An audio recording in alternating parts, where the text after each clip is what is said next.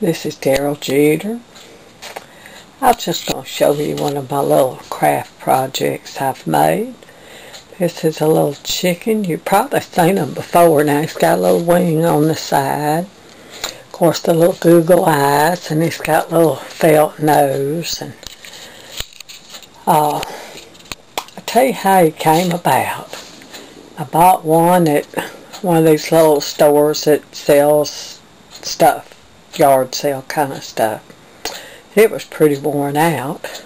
And I just thought, well, I really, I think I give like a dollar for it, not much.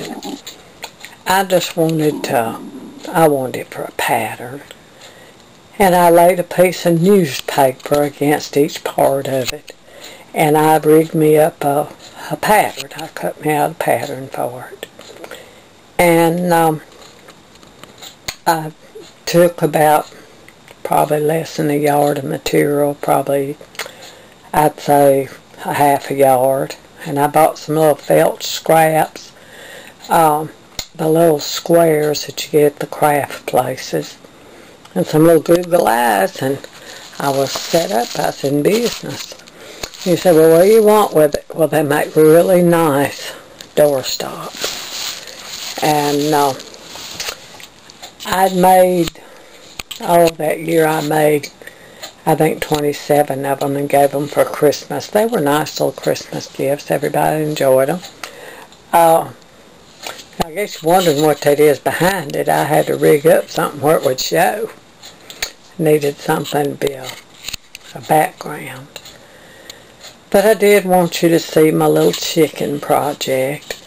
It's stuffed with um, grocery bags the little plastic bags that you get at the grocery store and I stuffed it and the hardest part of it is to stuff is this tail. And what I did, of course you sew these seams and then you got that little tunnel that's got to be stuffed. I pushed that in there with a pencil. Not, not a regular pencil, but, you know, the big old fat pencils like they used to use for first grade. I don't know if they still do or not. But uh, they've just been a, a fun thing. And uh, I got real ambitious and I thought, well, see the bottom of it's just pretty flat. Now it's not a cardboard or nothing in there. What I do when I get them done, I just mash them down on a flat surface till I get them flattened out where they'll sit up. And I've got a got one here, it's a little smaller trying to straighten this whole comb up. He's, he's a little smaller. And uh, all I did on that was just cut the pattern down a little bit. And uh, and you kind of shape him with your hands to make him shape up right.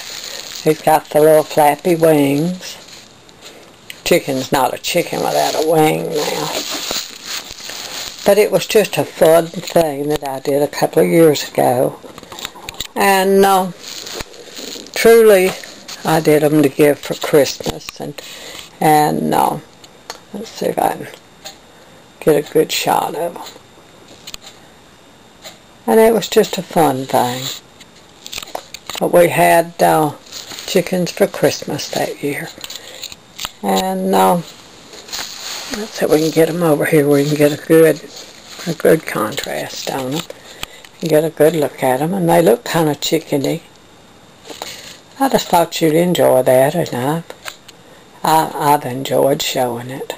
But they're my little chicken project. This is Daryl Jeter.